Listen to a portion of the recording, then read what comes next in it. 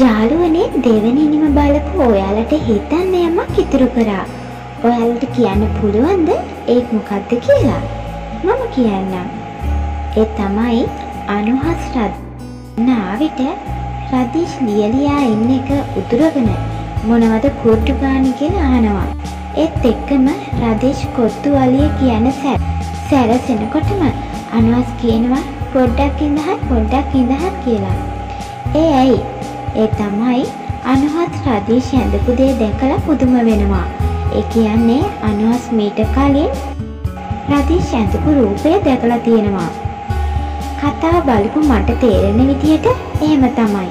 මට හිතෙනවා රදීෂ් කියන්න කලින් අනුවස් දැනගන්නවා රදිෂ්ට ගැව්වේ කවුද කියලා. ඉතින් මේ රූපයේ හරිම විස්තරය බලන්න අපට ඊළඟ එපි එනකම් බලා ඉන්න සිද්ධ වෙනවා. ඒ විතරක් නෙවෙයි මම ඔයාලට චූටි දෙයක් කියනවා. ඒ තමයි රදීෂ් ලිහිණිගේ ලස්සන වීඩියෝ එකක් ඊළඟට ලෑස්ති කරනවා. ඔයාලට කැමති සින්දුවක් තියෙනවා නම් මට පහලින් කමෙන්ට් කරන්න.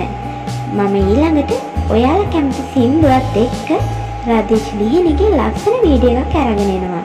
එහෙනම් යාළුවනේ ගිහින් එන්න පරිස්සමට ඉන්න. මම ඔයාලගේ ආදරණීය යෙහෙළිය නිෂ්